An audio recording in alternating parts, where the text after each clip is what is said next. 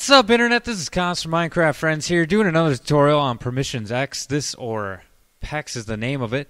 It's uh, it's very powerful and uh, it does a lot of things. A lot of people like to use it because it um, it just gives people access. If you want to like restrict people access to certain areas, you want to do ranks, uh, where people have access to more stuff than lower ranks, whatever. It's very powerful. It does a lot of stuff. So here we go.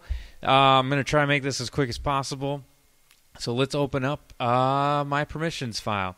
So I made it really basic here just to make the tutorial. There's a few things to note. First of all, if you don't know how to run a plugins, check this link out because uh, I I go through a tutorial on how to run plugins and how to set up a server, all that stuff. So.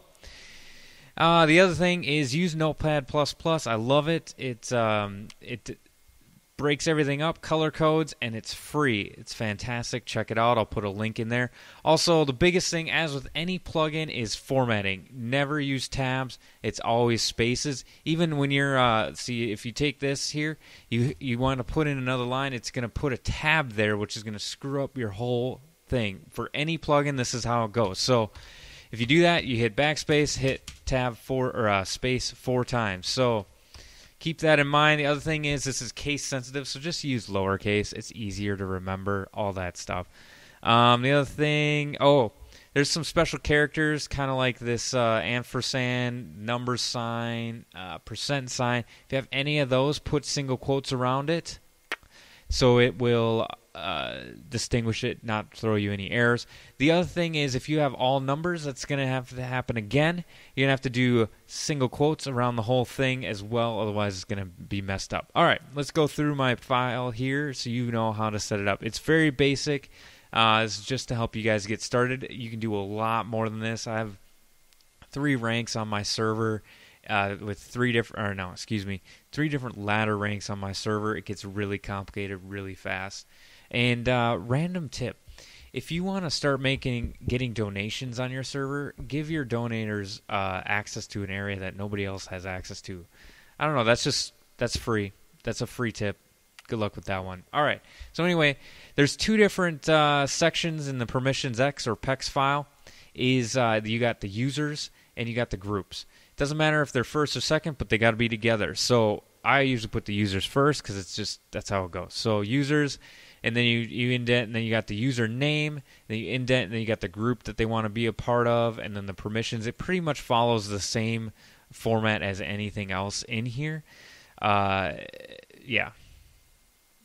The the one thing. All right, so then you're going to have permission nodes from whatever plugin that you're going to have. So this is Multiverse, and then this is uh, the permissions, and then uh, I got an Essentials plugin for my testing here if you want to give them to access to all of the commands for each plugin, which usually will be reserved for like an admin or, or something like that, or they have a sub node that they can have access to, uh, you would put the star here. It just means all for under that. Um, I did the permissions so that I can uh, modify this, step through it. It's a good way to test if you have this on your server. So then you get into the groups. The base one is trial. These don't need to be in order, but uh, I just did them because it's easier to notice. Uh, you want to set this one to default. This means this is going to be the group that they set get set to when they first join your server. And then you come down, you got your permissions. I just gave them one because that's how it goes. Now you got options. Now the options are interesting. This is where you can set up the rank ladder and then the rank number. So a higher number means they're lower rank uh, if you just have one rank ladder, you don't even need to do these if you're never going to use the promote or demote command. And then if you have multiple ranks, you just want to come down here. Remember, uh, remove the tabs, and then you do. Uh, I think it's just ladder or rank ladder. I can't remember off the top of my head. Um, and then you just say the the ladder name, cops or whatever. So we'll just uh, leave that. Then uh, the next one up is member. Uh, here you can set the prefixes. This this way, this nothing special. All it does is it changes the color of the name, which is kind of nice. Um, if you come down here to the admin, I have a full prefix where it changes the color of each one, it changes admin, and then it changes the color of the name, which F is just white. But anyway, permissions. So the members can warp to their home with this permission node, and then it inherits from the trial group. Inheritance is a big way to make this very easy for you. And then I did something kind of fun. You can you can set per world permissions for each group. Like on my server, I have a VIP group, and then they have creative permission on a VIP world. Um, so I'm just I'll show you how this works out, and then uh, rank 90. Next one is okay. This is the other thing I want to show you guys. Now, if you want to, it has a or PEX has a feature where you can negate. I think that's how you pronounce it. Um, comment if I'm not pronouncing that right uh, you can negate the permission with the negative in front of the permission node. Now, the tricky thing with permissions or with PEX is that you have to do this before it specifies the entire permission, kind of like how I do it like this. If you do this before this, because it reads from top down, it's going to give all the permissions for this and it's going to ignore this one. So if you want to negate, you have to put it before the all uh, inherits member. That's pretty much how it goes. So let's let's hop into uh, Minecraft here, and I'll show you how this works out in an everyday deal. Just give me a moment. And here we go. We're in our town, and uh, I'll go through, show you how these permissions work out. Um, should be pretty quick. Anyway, if we want to, so we're the trial rank, as you can see. Uh, if I type something, I'm white, no prefix or anything like that. So if I do PEX um, user.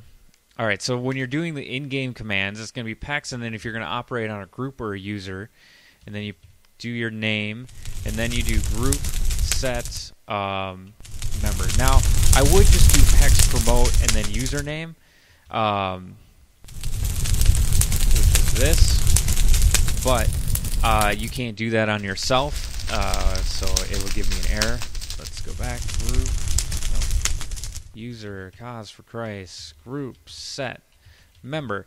Now, you have a set and an add command. Set is going to wipe out all the other permissions. Uh, the add is helpful if you want to give them access to multiple groups. Like my VIP members have access to their normal groups as well as the VIP group. Uh, there's no restriction on how many groups they can be a part of. That's kind of how it goes. So here we go, member. And now uh, my name is changed, and I can do I can do the set home and I can do warp home now. See, it's going to teleport in five seconds. Now, the other thing, we're just going to move because, yeah, I know. The other thing that I did with member was uh, missions in the nether. So let's go to the nether right quick, as they say in the south. And. Uh,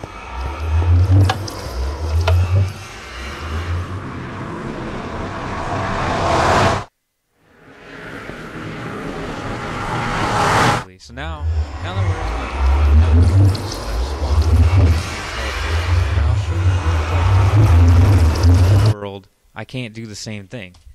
Doesn't don't have access. So let's go ahead and go back up, and we're gonna move ourselves up to moderator. Now that I have access to the moderator, I can do all the things I did before. I can give my remember it has access to all the essential commands, so I can do uh, I can do the give myself a kit, which is something I set up earlier.